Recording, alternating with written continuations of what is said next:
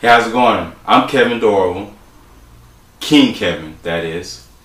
And we're going to talk about the roles of the queen, the woman. Now, in ancient history, the roles of a man and a woman, the king and the queen, were clear and concise. Everyone knew their role.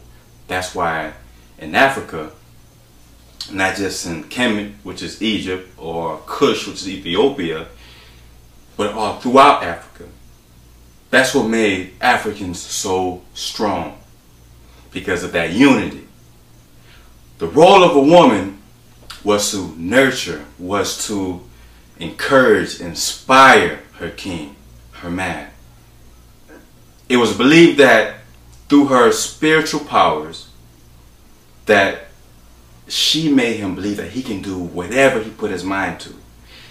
No wonder there was those great pyramids throughout Alkebulan, which was now Africa, but also up and down the Nile River in the United States of America. Those pyramids was because the woman encouraged her man. These some of these pyramids we still can't figure out how they built them. They were so great and so massive. So you could just think about that support system that was there and how society was so strong and powerful as kings and queens.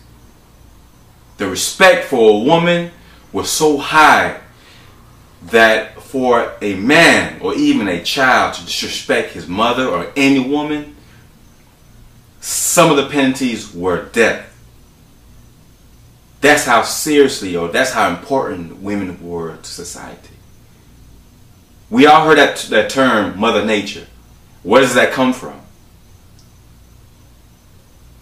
Now, you think about it, women were the first nurturers. They were the first farmers, first to study agriculture. You know, they planted seeds, they were pulling plants out the ground. So they developed a relationship with the earth, that spiritual connection. Men were afraid to oppose a woman because they believed that the forces of nature were allied with the woman. Women, you are the ones that carry us in your stomach for 40 weeks. Nurture us in your stomachs. The mother is the first person that a child, girl or boy, she's the one that encourages him or her as a child growing up. That is why that bond between a mother and a child is so strong because they are the first ones. You are the first ones. Somewhere along the line, I'm not sure which decade or which century, the respect for a woman diminished. The respect, the dignity, the self pride of a woman decimated. I don't know when, I don't know where, but we got to get back to that because until we raise our women, our mothers, our sisters up on that pedestal, our queens, until that respect is back, is back in power, the men will never be the kings that we should be because we need you, my sisters, to get back to that position of power that you once were. The story of resurrection first took place with Asar and Aset. Aset resurrected Asar from the dead. And the reason why I'm mentioning this because this was the first time the story of resurrection ever appeared in history. Before the resurrection of Jesus.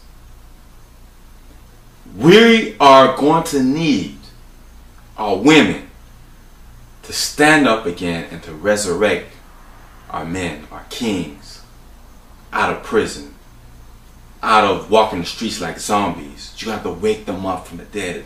If you look at the pictures, the hieroglyphics of Asar, Aset, and, and some of the other pharaohs, and you see the women, they all, most of them had wings on them, especially Aset, because it was believed that the wings were to love, was to spread power was to spread encouragement, inspiration to her king and to her children.